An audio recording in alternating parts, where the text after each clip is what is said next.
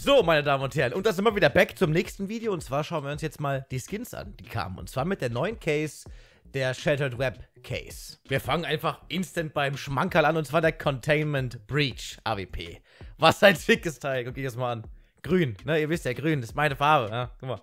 Ich könnte nicht zufriedener sein. Wobei natürlich auch die Mac 10 Stalker absolut krass ist. Also, die ist es ist, okay, das ist ein bisschen schade hier. Aber ja, geil. also die kommt der Hyperbeast, finde ich, schon, schon nah. Das hat auf jeden Fall äh, einen sehr geilen Stil, das Ding. Und jetzt haltet euch fest, guckt euch das Ding an, die Colony. Also, die ist ja fast noch krasser, wie die gerade eben gezeigten. Schade, dass es auf einer SG ist, die ich jetzt äh, speziell nicht so gerne spiele. Aber vielleicht ist es ja was, was ihr dann doch gerne mal äh, eine Runde zockt.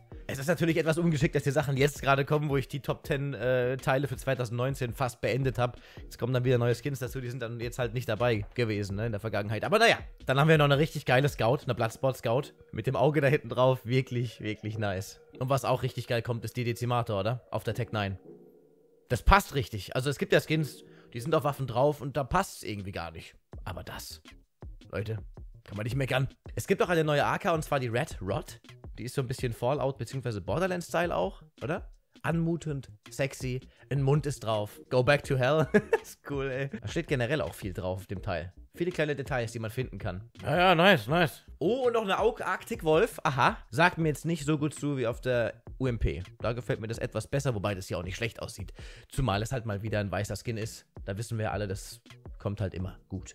Auch der Pfotenabdruck hier. Ein schönes Detail.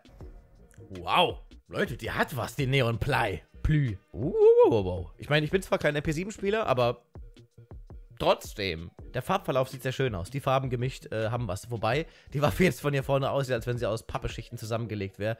Ply ist ja auch, ne, so wie Plywood. Das ist doch diese, ihr wisst schon, Pressspan, oder? Presspapp oder Sperrholz, eins von beiden. Und jetzt schaut euch mal die P2000 an. Da bin ich heute Nacht schon im Video so ein bisschen ausgerastet. Wobei die da lila aussah, glaube ich. Oder? Eher lilianer als rot. Naja.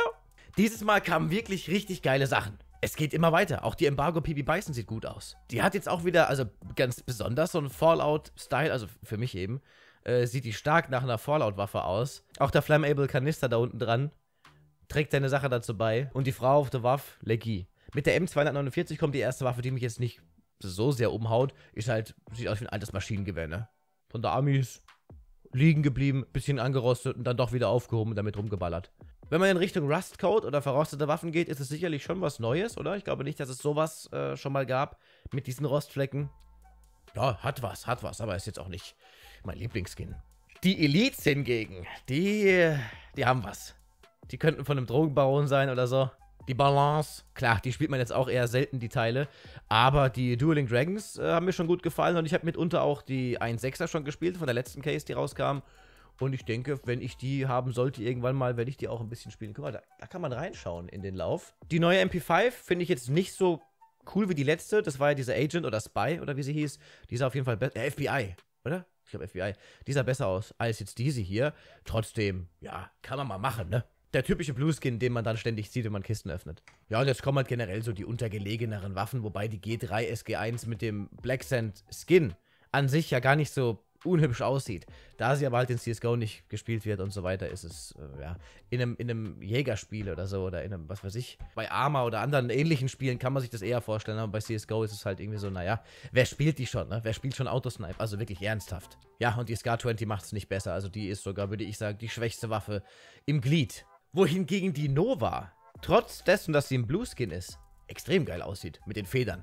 Könnte auch aus dem Jägerspiel sein, ja. Die ist wirklich cool. Also für einen Blueskin geht die voll klar. Und zu guter Letzt kommt der Revolver. Der nennt sich Memento und auch dieser Skin oder dieser Revolver könnte bei einem Drogenbaron neben dem Bett im Nachttisch liegen. Vielleicht noch mit einem eingeritzten Namen hier in, das, äh, in dieses wunderbare Material. Kann man mal machen. Ja, das war's dann soweit mit diesem Skin-Video. Ich würde jetzt dann gleich noch die weiteren Sachen vorstellen in separaten Videos. Äh, wir sehen uns also dann in, keine Ahnung, einer Stunde oder so wieder. Ich versuche die Videos ganz kurz zu halten. Oder so kurz wie möglich halt, dass, äh, dass es einen nicht erschlägt. Vielen Dank für die Aufmerksamkeit. Macht's gut und bis später im Livestream. Ciao, ciao.